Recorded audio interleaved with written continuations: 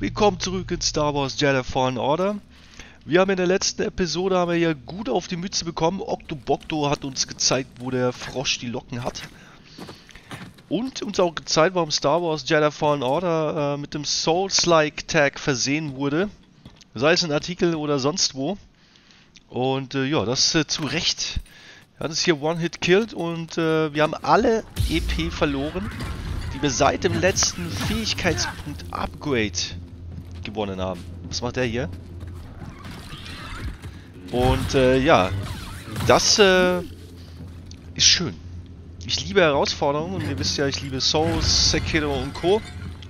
Haben wir alle schon durchlitten hier äh, auf dem Channel und so soll das sein. Ich werde irgendwann wieder zurückkehren, weil wir äh, auf jeden Fall auf dem Planeten hier wieder noch weiter erkunden werden können.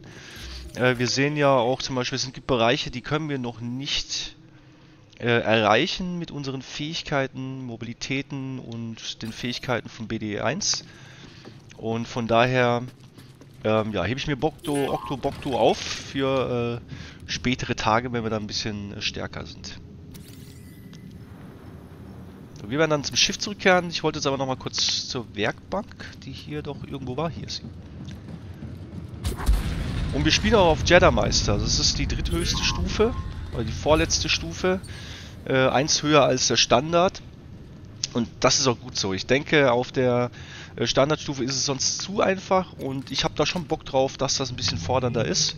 Und da kein Problem damit, es mir dann öfters mal mit den entsprechenden äh, Bossen und Elite-Gegnern dann auch zu geben. So, gucken wir mal, haben wir jetzt irgendwann, wir haben ein paar neue Sachen dazu bekommen. Ja, Mut und Weisheit, das sieht doch gut aus. Oh no, hier Mut und Weisheit, Schalter, pack mal rein, Mut und Weisheit, das, das brauchen wir. Ja, sieht aus wie, wie äh, die Original, ne? Noch die alten Standard. Aber da, da bleiben wir modern. Und ich habe jetzt auch Bock auf, gucken wir mal, das Orange, wie das aussieht. Orange. War natürlich nur die Frage, wie. Orange. Wir nehmen jetzt mal Grün. Wobei ich immer noch der, der, der, Fan bin von Blau. Blau ist schon super stylisch, weil Rot ist halt auch.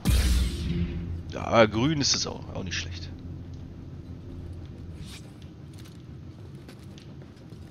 So, das haben wir auch nicht gescannt. Mein Freund, die Untersuchung der Kugel war lohnend.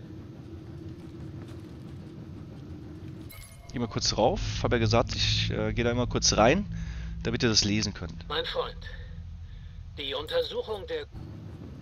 Okay. Ach, schade, dass man das, den Sound nicht weiter im Hintergrund spielen lassen kann. Das ist etwas, was ich eigentlich gerne mache, gerade wenn es viel Text ist. Ich lese zwar gerne, aber es ist halt richtig gut, finde ich, wenn man äh, dann die Möglichkeit hat, äh, den Text dann sich aber vorlesen zu lassen. So, wie kommen wir da hin? Wir wollen ja zum Schiff. BD1.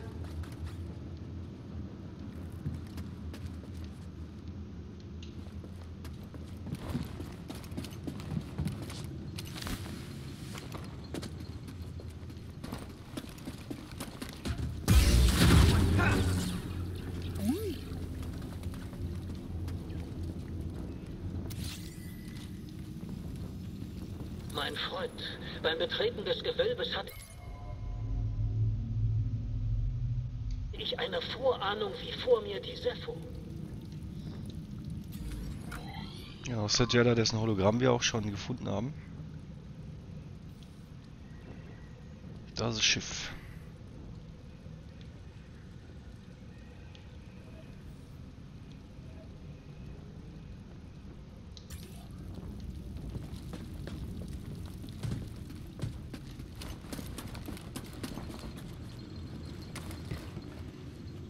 Ja, da erinnere ich mich auch noch gut dran. Da geht's da oben.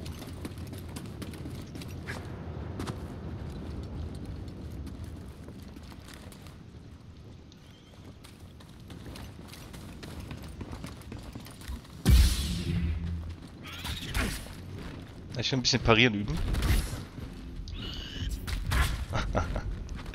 Ist gerade bei solchen kleinen Gegnern, die ganz komische Angriffsanimationen haben, besonders gut.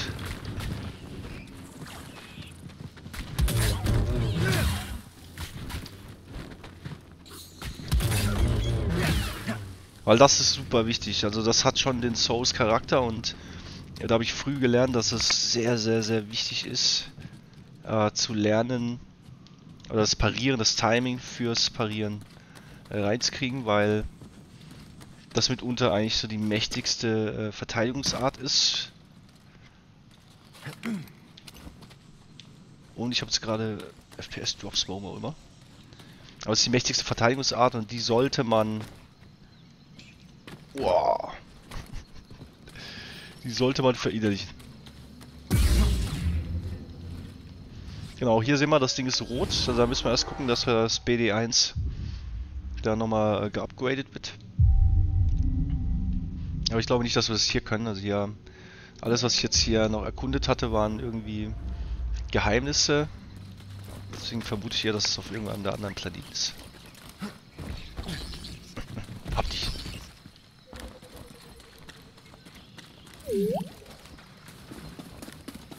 Komm her, BD1.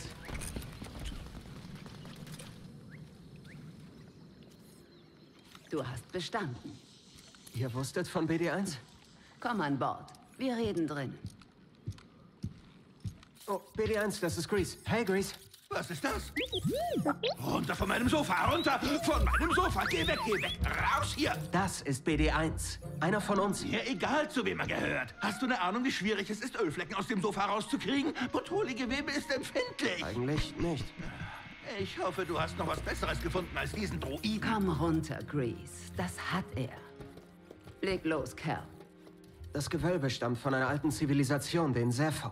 Ein Jedi namens Ino Cordova hat irgendwas darin versteckt. Was hat er darin versteckt?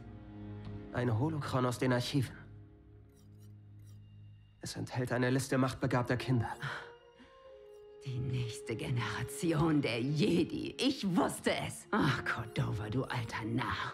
Ihr kennt den Mann? Ja, es ist ziemlich lange her. Ich war damals seine Schülerin. Cordova war ein Einzelgänger. Außer dem kleinen Druiden und mir weiß wahrscheinlich niemand von Bogano. Halt, Moment mal, Moment mal. Ein Holo, was? Holocron. Es speichert Informationen, aber nur Jedi haben Zugriff. Wartet kurz, ich glaube, ich habe eins hier.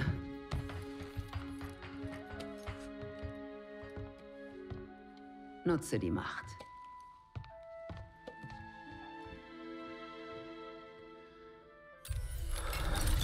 Hier spricht Meister Obi-Wan Kenobi. Ich bedauere berichten zu müssen, dass unser Jedi-Orden sowie die Republik gefallen sind. Obi-Wan Kenobi. Mit dieser Liste von Machtbegabten könnten wir den Orden wieder aufbauen und das Imperium besiegen. Okay, kein Problem. Holen wir sie. Aber das Holochron ist tief im Gewölbe versteckt und wir müssen zuerst Cordovas Pfad folgen. Er hat was über den Planeten Datumir gesagt und über eine Sepho-Heimatwelt. Also gut, wohin fliegen wir? Ich frage nur, weil ich sonst was Schmackhaftes gebrutzelt hätte. Dazu, bevor es losgeht, muss ich noch was wissen. Warum seid ihr kein Jedi mehr? Ich hatte ein Erlebnis und sehe jetzt vieles anders. Darum habe ich mich von der Macht getrennt. Aber den Orden wollt ihr wieder aufbauen? Ich glaube, dass der Wiederaufbau des Ordens unsere beste Waffe gegen das Imperium sein wird. Und was glaubst du? Dass ich mich nicht ewig vor dem Imperium verstecken kann, also habe ich keine andere Wahl. Kerl, solange du lebst, wirst du immer eine Wahl haben. Seid ihr dabei? Sind dabei. Datumir oder Sepho? Du hast die Wahl.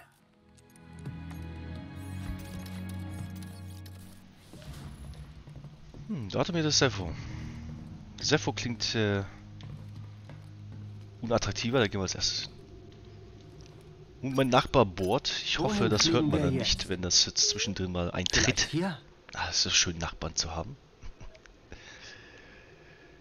So, reisen wir nach Sepho.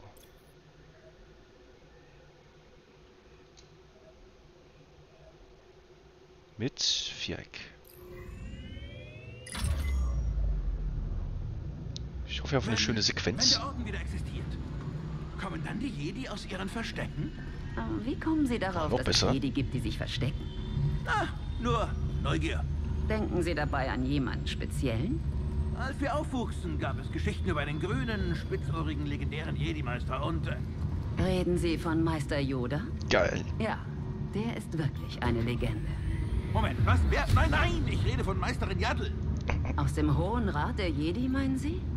Ja, wir haben alle unsere Träume, okay? Lassen Sie mir meine. Kein Problem. Wir verlassen gleich den Hyperraum. Setz dich.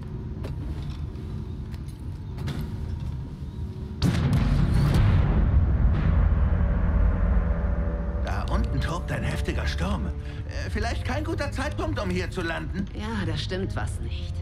Diese Winde stören unsere Kommunikation. Hey, Cordova hat was gesagt von wegen Friede im Auge des Sturms. Und ich sehe eine Ansiedlung genau in der Mitte.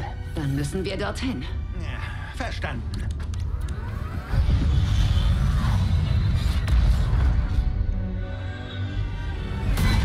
Oh, passend zur Winterzeit.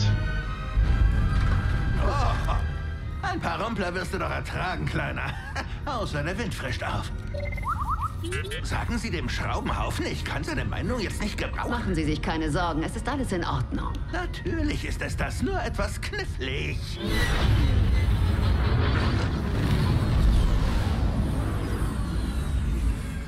Okay, festhalten, festhalten, festhalten.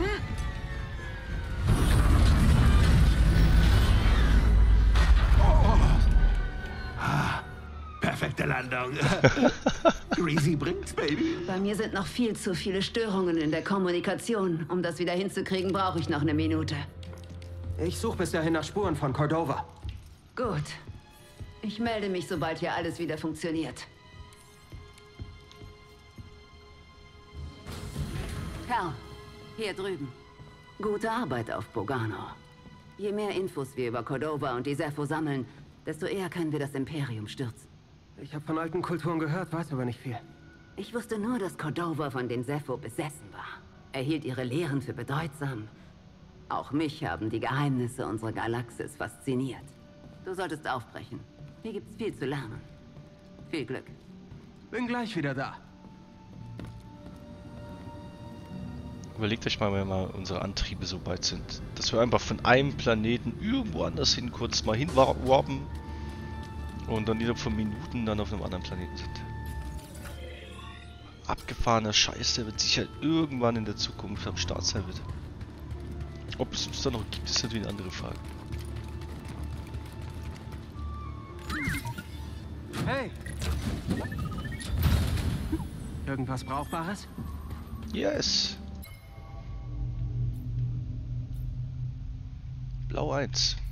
Ja, aber Rot ist halt schon geil. Weiß-Rot, ich liebe halt einfach die Kombination aus Weiß-Rot oder Schwarz-Rot. Aber trotz EA poppt jetzt nicht irgendwie Cash Shop auf mit 5 Euro für den BD1-Skin. Du hast den zwar bekommen, aber damit du den freischaltest, gib uns deine Kreditkarte. Ich weiß zwar gemein, aber EA hat es immer noch verdient. So lange, bis sie lange, lange fairen Shit bringen. Ah. Einfach nur atmosphärisch.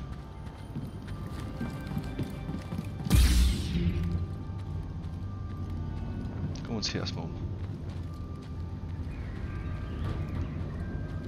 Sieht aber auffällig aus.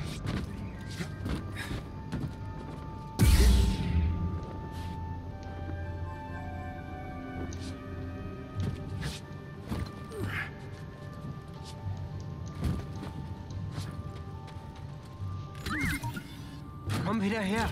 Bin mal gespannt, was die Gegner uns hier so erwarten. Neues Poncho-Material.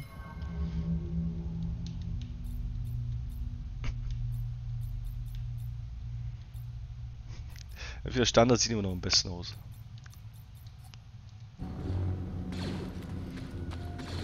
Es gibt auch für das Schiff gibt's auch welche. So, wer schießt da?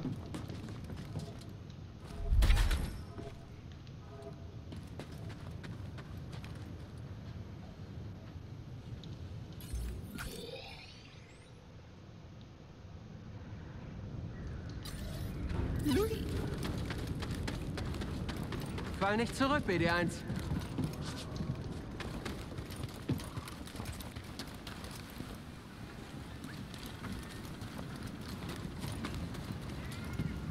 Oh, ich dachte gerade, Abgrund.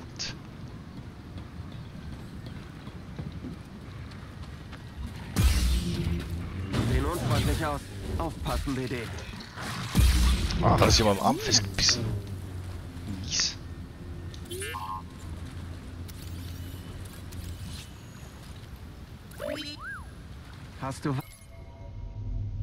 Das ist halt geil, finde ich, in dem taktischen Leitfaden. Die einzelnen äh, Lebewesen. Aber tauchen die auf? Tauchen die auf... Genau. Hier dann auch pro Planet. Octopocto. Trenne die Zunge mit einer Kombination aus Macht- und Lichtschwertangriffen ab. Ah! Okay. Extrem ausdauernd und resistent gegen Lichtschwerter. Ja, Was? das haben wir gemerkt. Octobocto ist nicht unser Freund. Ich glaube, Octobocto ist niemandes Freund. So, Stormtrooper. Ja. Kannst Beziehungsweise ich, ich na, du mich hören? Das Imperium. Sie haben Sepho. Wären sie der Mantis gefolgt, hätten sie uns schon längst umzingelt. Suchen Sie etwa nach den Gräbern? Hoffentlich nicht. Unser Funk geht wieder. Ich versuche jetzt, mich bei ihnen einzuklinken.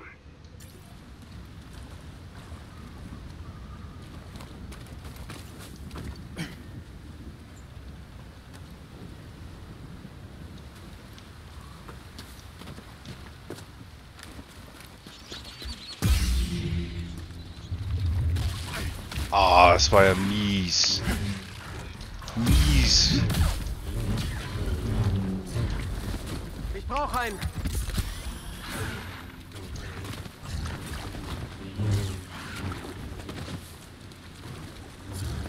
Ein ferner Kampfangriff wäre auch schön. Aber ich gehe noch viel zu oft Schade rein. so viel üben.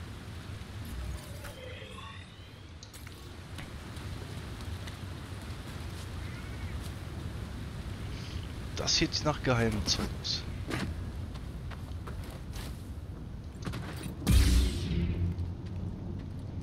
Ich hoffe, ich beginne jetzt nicht Octobocto Schwester. Oder noch schlimmer, seine Mutter.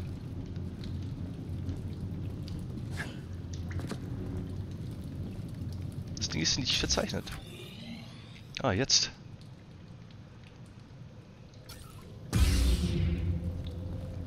Kunden wir. Muss sein.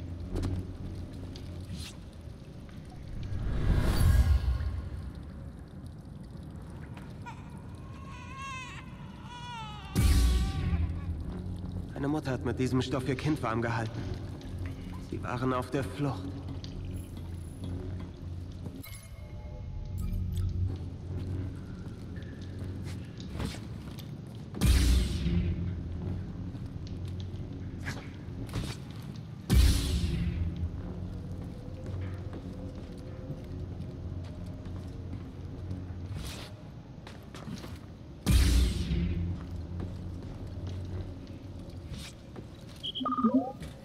Ein Stimmfach. Und zwar hier. Hey, kannst du mehr tragen? Danke, BD. Wird das unser, unser Max-Stim?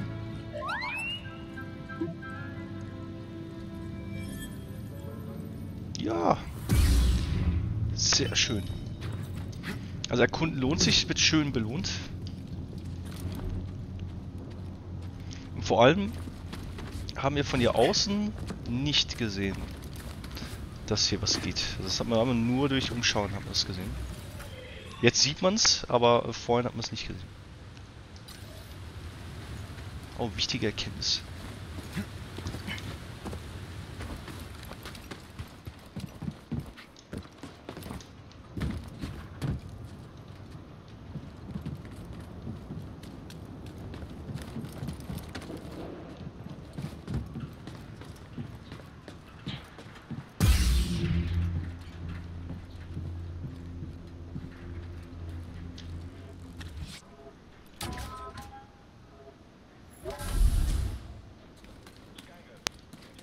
So, ist hier irgendwo noch ein Punkt, wo wir rasten können?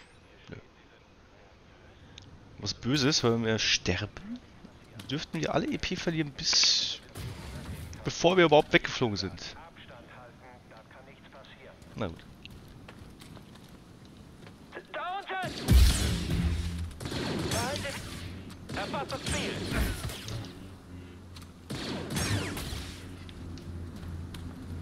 Das ist natürlich auch eine gute äh, Parierübung. Was böse ist, wenn sie zwei Schüsse ineinander abfeuern.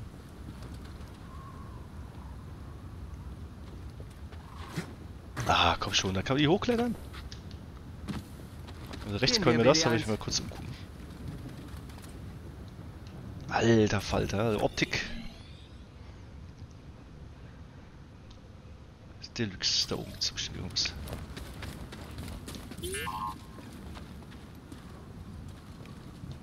Wenn wir hoch können. Ah, schade.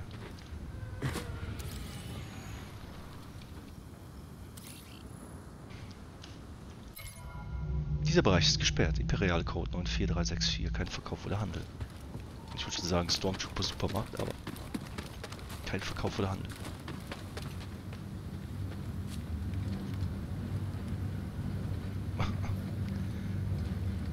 So anhalten, draufspringen, rüber. Good idea oder bad idea?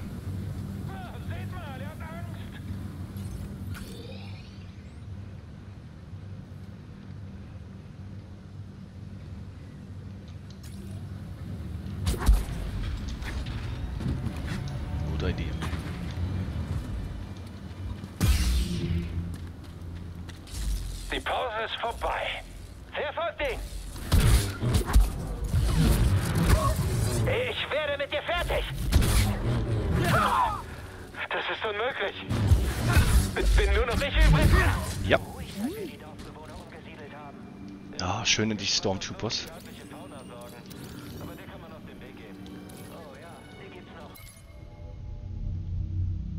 Eins kann leicht zu besiegen, aber in Gruppen gefährlich.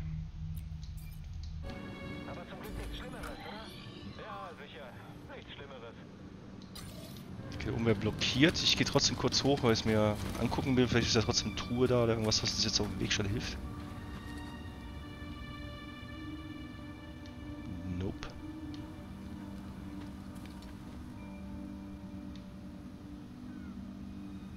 Gegner, Gegner und wunderbare Aussicht. Da muss ich kurz einen Screenshot machen.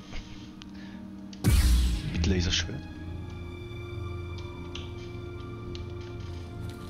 Einmal gepostet, die erledigen wir noch. Ziel gesichtet! Er schießt ihn! Und bloß nicht die Nächsten! Ich wusste, dass es. Ich brauche Medizin, BD1.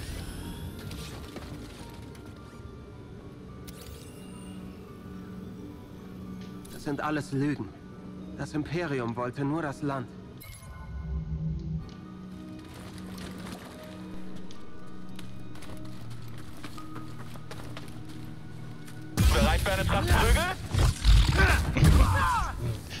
Glaube schon, ja. Ich kann dich da unten sehen. Ah, das ist halt echt böse. Das ist nicht der erste reflektiere. Und der zweite kommt jetzt haarig.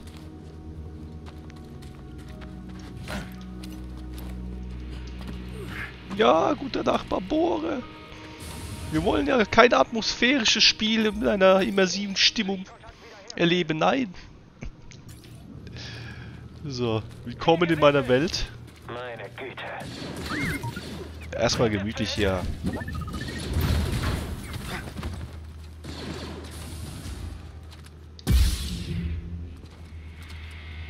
Ich werde ihn erschießen. Alles klar. Seht eure... Sie konnten dich nicht besiegen. Ich kann es. Shit. Wunderbar. So, also. Hier geht was. Rechts geht was.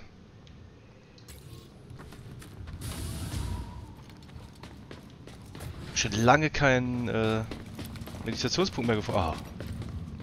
Danke. Aber ich weiß auch nicht, wann die speichert. Also ich glaube ab und zu mal. Aber hier ist es auf jeden Fall sicher gespeichert. Jo, das ist das Ende dieser Episode. Cool, dass wir mit dem Schiff unterwegs sind, unterschiedliche Planeten haben, immer weiter noch sehr atmosphärisch. Und äh, ja, in der nächsten Episode geht es weiter mit Kerl und mir. Möge die Macht mit euch sein.